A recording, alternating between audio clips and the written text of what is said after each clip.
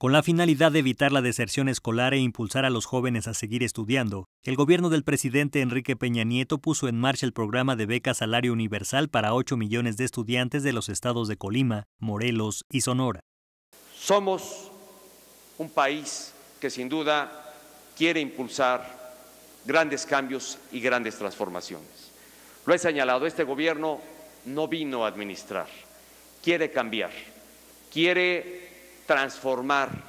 porque queremos darle a las nuevas generaciones un mejor marco, mayores oportunidades para que ustedes y quienes vienen detrás de ustedes puedan materializar y cristalizar sus sueños, sus anhelos, sus proyectos, sus iniciativas. Por eso estamos cambiando y estamos claros que todo cambio invariablemente enfrentará resistencias, pero somos muchos más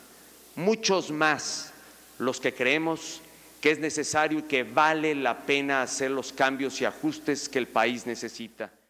Ante funcionarios federales y estatales, el mandatario de la nación dijo en Cuernavaca, Morelos, que un país con gente educada y preparada es una nación que camina hacia el éxito, por lo que no cesará en su empeño de consolidar plenamente la reforma educativa que ya está en marcha.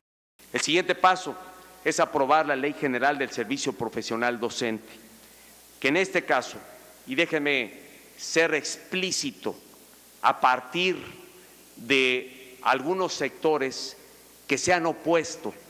a esta legislación, a este tercer ordenamiento legal, cuando me parece que los beneficios son mayores. Primero, porque se hace pensando en la niñez y en la juventud del país. Se hace pensando para que este, esta ley dé marco precisamente a una educación de mayor calidad.